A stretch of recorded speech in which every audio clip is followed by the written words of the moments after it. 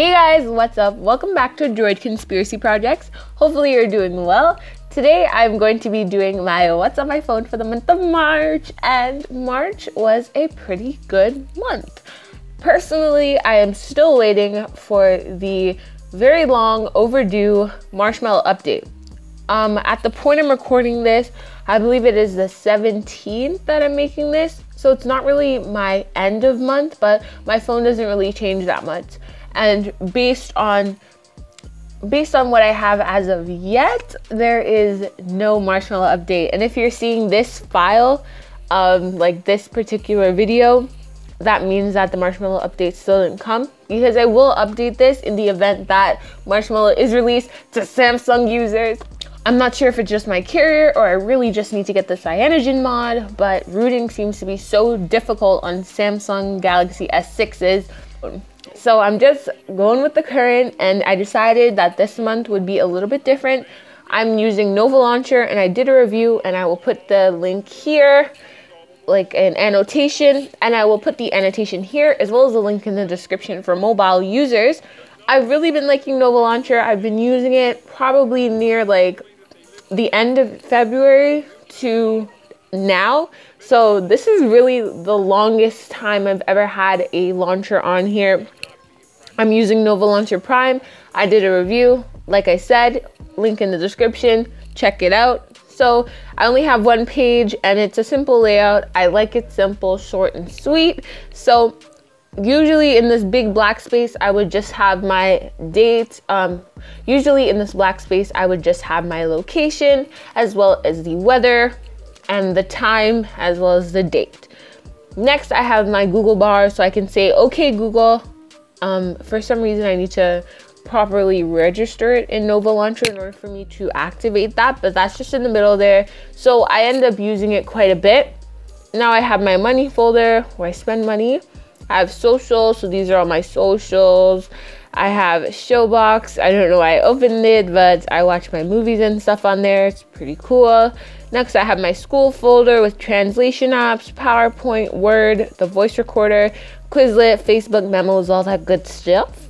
Next, I have my music folder, so I use the stock Android music. Not really. I probably have this default Samsung song on there but I love to go to Spotify and SoundCloud. I've been rocking heavy with SoundCloud a little bit more than Spotify this month. And for revenue, this is where I check my money and stuff like that. And my SMS right now is Textra. And I showed you guys how you can use Textra to get like realistic iOS messaging like this. So that will be on this screen here, as well as it will be down below in the description box for my mobile users and I have the settings. So that's basically it. And I will be going over some favorites that I've really been liking this month just to play around with. The first favorite I want to talk about is Musical.ly. Now, a lot of people have mixed opinions on this, but I really enjoy Musical.ly. Like, if you're on a road trip and you're bored, you can Musical.ly like the whole ride and you won't get bored. There's a whole bunch of songs. You can use your own. And it's so simplistic. You literally choose your speed, you can save it to private, share with your friends, post it to Instagram. There's like a Musical.ly community where you can post. I've also been enjoying Periscope, which I think I touched on last month. I've really been enjoying it. And if you're wondering, um, I'm using the theme Re1, and I believe this is a paid theme that you have to get on the App Store for Nova Launcher. So there's a whole bunch of icons. Oh my goodness, guys. If you have any app, I will guarantee, well, pretty much guarantee, they're gonna have one related to you or one that you can swap in, or they're already gonna have it there. There is such a wide support range for your device, and as soon as you install an app, the theme is automatically applied, which I think is cool. This in Chime with Nova Launcher just makes the whole experience so much better. So the theme I'm using is called Re1. There's related ones, and I'm probably gonna change it out next month if I don't switch my launcher.